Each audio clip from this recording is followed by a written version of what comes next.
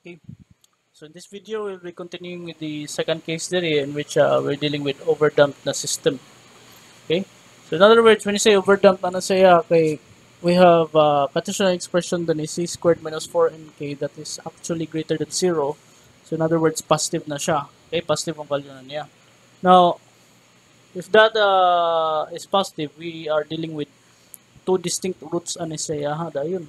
Okay. So, first root would be yun sa c 2m plus c squared minus 4nk. Okay. Uh, divided by 2m. Yeah, ang second na sa niya root dayon. Okay. Itong negative na argument ana siya ha. Hmm. So we have something like this na dayon din. Ano siya itong mga roots din. Two real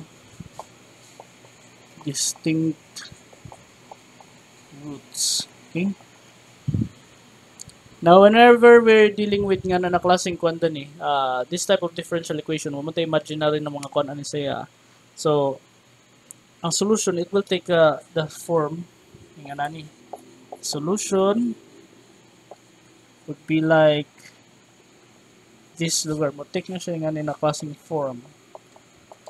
Again, this is uh, from sa inyong differential equations din ni uh, alpha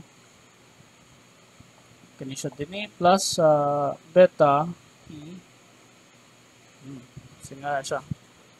In which um, alpha and beta again are arbitrary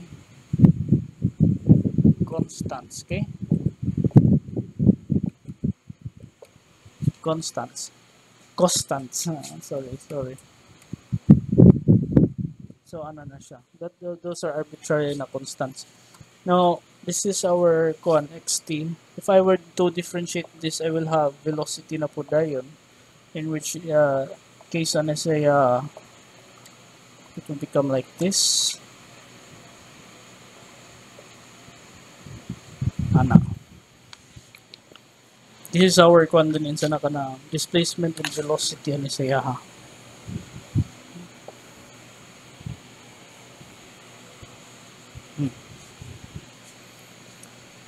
So far that is for sa na overdump na mga kwan systems, okay? Nga na na ang kwan niya ka straightforward ang atuang kwan, atuang solution ana sa iya ha.